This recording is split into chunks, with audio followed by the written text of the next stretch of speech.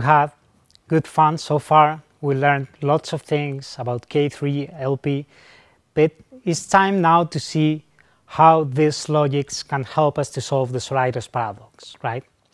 So let's look again to the Sorites series, right? Just to remind you, this first element of the series is red, is clearly red. The last element is clearly not red, right?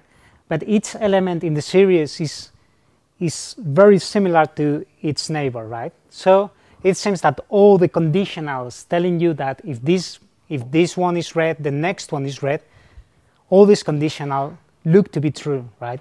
Because otherwise it seems that we are making a very subtle distinction between elements that are very similar in color, right? So the problem in classical logic was that although the so the first is if the first is red and the last one is not red, then there must be a false conditional, right? In particular because the inference of modus ponens, this inference here,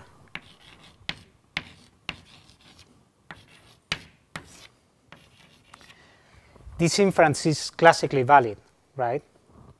So since the the inference that leads you from the first one being red to the last one being red is valid, there must be a false conditional with a true antecedent and a false consequent, right? Sharp distinction. Okay, so when, when we go back to K3 and LP, these logics are going to help us to explain what's going on in the Sorites series but they will give us very different results, right?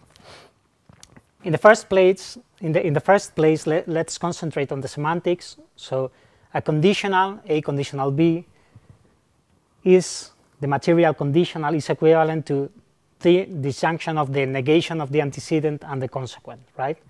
And this is going to have the, the value of the maximum between the negation of the antecedent and the consequent, right? So if we go to the to the sequence and and we concentrate on these conditionals, A1 is red, then A2 is red, AK is red, then AK plus 1 is red, etc. What we see is that each conditional is, at the beginning, each of these conditional is takes value 1, right? At some point, the truth value of the conditional drops to the middle value, right? And, but at, at some point, again, the conditional goes up, right? Be because at the beginning, the antecedent, this one is red to degree 1, right?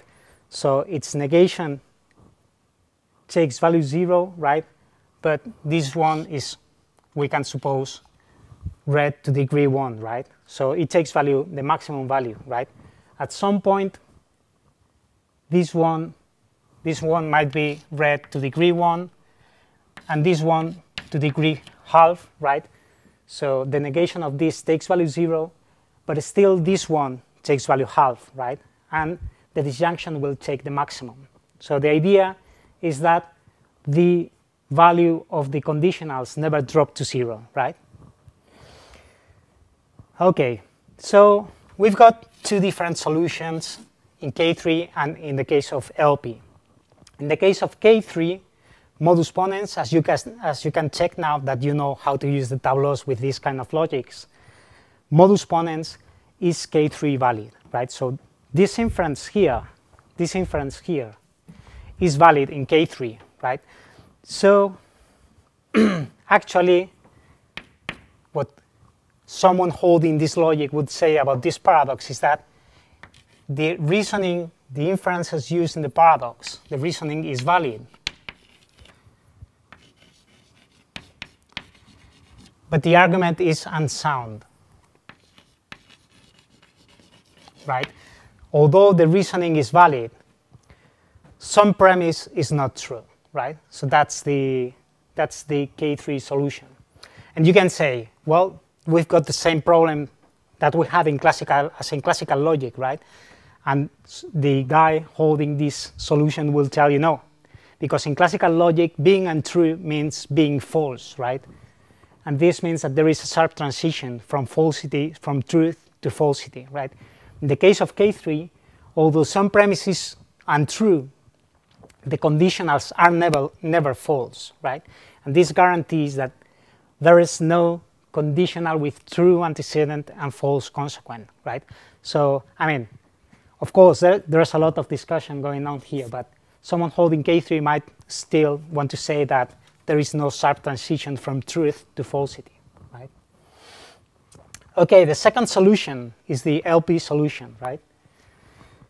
So in this case, for LP standards, if you remember, for LP, being true means taking value more than zero, right?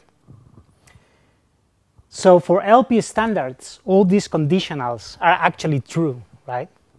What happens in the case of LP is that although all the premises are true, the reasoning in the paradox is not valid. If you remember in the previous video where we put the example of a, of a tableau for LP, we showed that this inference here does not preserve tolerant truth, right? So for K3 standards, the reasoning, the premises are true, but the reasoning is not valid. Okay, so which solution is better, right? Now, which solution should we stick to? So should we hold K3 should we hold that some premise is less than true, although not false? Should we hold LP? So should we hold that all the premises are true, but the reasoning is not valid? It is not easy to say, right? But I would say that, in a sense, the LP solution is better, right? Why? Because the LP solution tells you that the premises are true and from a psychological point of view, the truth of these conditionals is so plausible that I, I think that this sort of solution, in a sense, is, is better than K3 solution. Of course, the problem of LP is that modus ponens is not valid, right? So although these, these conditionals are true, in a sense, these conditionals are too fragile, right? And they cannot express tolerance like in a robust way. Okay, so in the next video, we are going to see a, a different sort of solution with some striking consequences, making use of these three truth values. See you then in a minute.